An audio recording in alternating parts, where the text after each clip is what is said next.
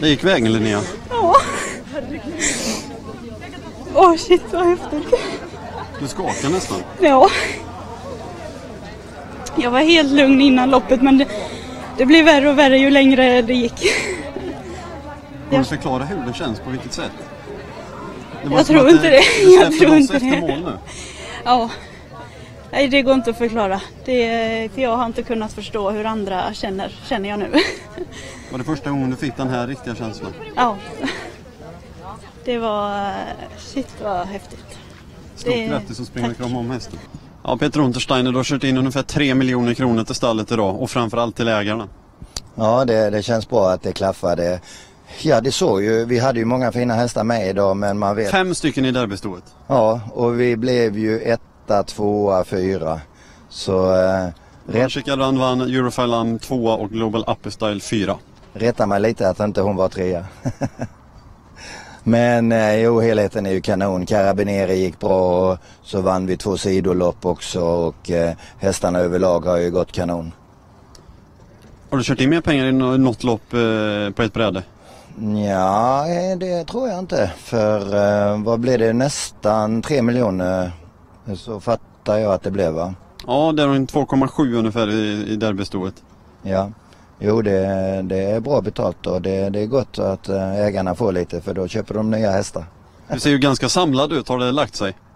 Nej, men jag, jag njuter av det. Nu har jag varit så upptagen hela dagen och så man har ju varit fokuserad men allting har klaffat och, och eh, jag ska, eh, ja, jag njuter. Jag kommer ju skryta om den här dagen på hemmet när jag är gammal. Vi följde dina anställda hästskötarna till eh, derbystohästarna eh, före och under loppet. Det var en härlig teamglädje.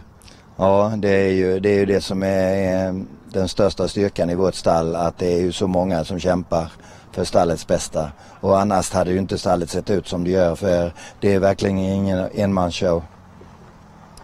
Alcoy, ingen lycka i derbyt med honom? Nej, men vi fick dåliga ryggar att gå i och så ut i fjärde spår redan 500 kvar. Kort galopp i sista sväng, där rök en pengängplacering. Mikael Levin, ägare till Run Chica Run. Vad känner du inom det just nu? Eh, nog den största glädje jag har känt i idrotts och travsammanhang som går att känna. Helt obeskrivlig glädje. Kan man beskriva den på något vis? Ja det kan man men det ska jag inte göra. Det är helt, nej, det, det, det, det går inte att få uppleva detta på hemmaplan med sina nära och kära som vi fick göra idag. Det, nej, det går inte. Jag, jag tror inte det går att beskriva faktiskt. När det var spårlottning här efter uttagningsloppen så drog din dotter Lova nummer ett. Det vill säga fick välja spår först och jag tror att Peter blev så glad så hon fick en puss på kinden till och med. ja, precis. Jag, eh... Nästan så det loppet vann. Ja, men lite så var det för jag eh, försökte vara duktig och dra en bra låt i Storchampionatet och jag drog det sämsta så hade vi spår 8 och eh, då förlorade vi ju loppet redan innan det var kört och nu hade vi i alla fall en riktigt bra sportslig chans. Och visst, sen tror jag att hon hade varit snabb nog att ta ledning från de flesta öppna spåren idag. Så att, eh, men visst, eh, innerspåret är ju naturligtvis eh, lättast. Hur firar du det här? Jag vet faktiskt inte men jag kan lova att jag ska fira det i alla fall. Det kan jag lova. Jag ska inte som många andra ta en eh, extra stor eh, milkshake på vägen hem på McDonalds som man hör ibland i travet. Utan detta ska vi fira, det kan jag lova. Låt champagnen flöda. Det ska den göra. Tack så mycket. Grattis. Tack.